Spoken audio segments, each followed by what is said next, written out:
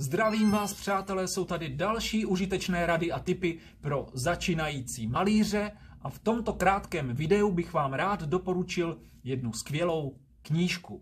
Ze svých kurzů malby vím, že míchání barev je pro mnohé z vás ještě pořád a stále velkým strašákem.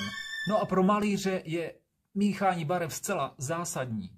Zapamatujte si jednu velmi důležitou a zásadní informaci. Nic v prostoru ani nikde v přírodě neexistuje samostatně a izolovaně.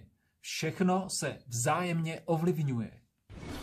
Stejná situace se odehrává i na vašich plátnech. No a jakým způsobem se to děje a jak s tím pracovat?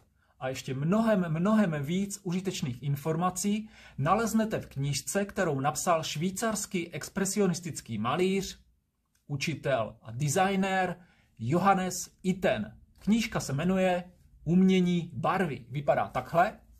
Wow. No a vřele ji doporučuji nejenom začátečníkům. Možná někteří už ji máte doma. To je skvělé. Tak přátelé, to bylo vše, co jsem vám potřeboval říct. Eh, pokud se vám líbí to, co dělám, dejte like, sledujte můj profil, ať vám neuniknou další videa. No a zatím se mějte fajn, malujte a milujte. Ahoj.